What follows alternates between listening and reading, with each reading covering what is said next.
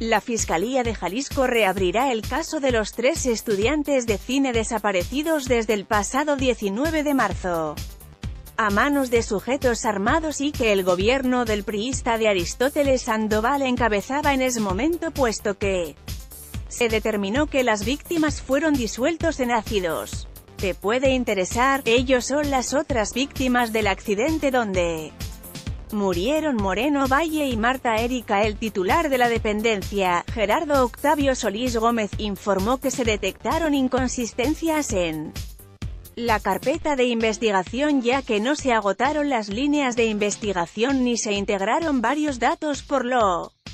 que continuarán las pesquisas para buscarlos como personas vivas. Tras revisar las carpetas de investigación el fiscal de Jalisco indicó que no hay certeza de que los tres jóvenes hayan sido asesinados.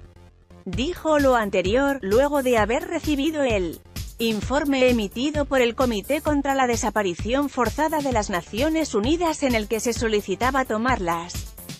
medidas necesarias para buscarlos y localizarlos, de ser necesario, bajo la conducción de la Procuraduría General de la República, PGR, por este caso ya cuatro sujetos fueron detenidos y vinculados a procesos